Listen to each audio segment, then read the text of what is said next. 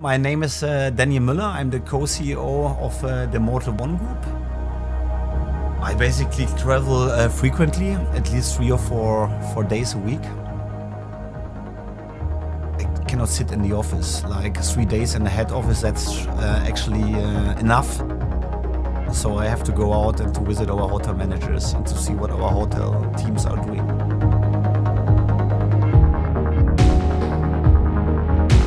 No, I really love the airport because for me as a frequent business traveler, it's very important to have processes which are really quick, quick check-in, quick uh, border control, passport control, and for me traveling to Newcastle Airport or from Newcastle Airport, it's very convenient.